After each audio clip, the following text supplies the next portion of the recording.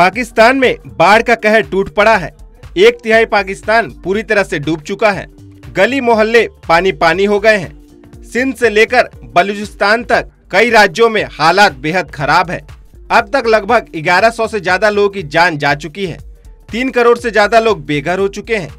आलम यह है कि अब लोग भूख से सोने को मजबूर हैं। पाकिस्तान को बाढ़ से 10 अरब डॉलर का नुकसान हुआ है। महासंकट की इस घड़ी में पाकिस्तान को भारत की याद आई है।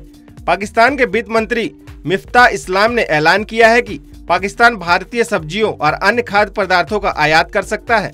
पाकिस्तान में टमाटर के दाम पाँच सौ किलो तक पहुँच गए हैं। अब पाकिस्तान को भारत से मदद की आस है।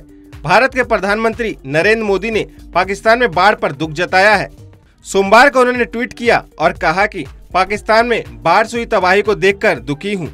हम पीड़ितों, घायलों और इस प्रकृति आपदा से प्रभावित सभी लोगों के परिवार के प्रति अपनी हार्दिक संवेदना व्यक्त करते हैं। साथ ही सामान्य स्थिति की शीघ्र बहाली की आशा करते हैं। पीएम मोदी के ट्वीट के बाद अब नई दिल्ली में सर्वोच्च स्तर पर ये चर्चा शुरू हो गई है कि पाकिस्तान को मानवीय मदद दी जाएगी। भारत कई विकल्पों पर विचार कर रहा है। भारत अगर पाकिस्तान को मानवीय मदद देता है तो ऐसा पहली बार होगा जब प्रधानमंत्री नरेंद्र मोदी को सत्ता में आने के बाद भारत की ओर से पाकिस्तान को प्राकृतिक आपदा में मदद दी जाएगी। इससे पहले कांग्रेस के नेतृत्व वाली यूपीए सरकार ने साल 2010 में बाढ़ और साल 2005 में भूकंप के दौरान पाकिस्तान की मदद की थी। Bureau report Deshwa news. Deshwa news पर वीडियो देखने के लिए लाइक करें, सब्सक्राइब करें।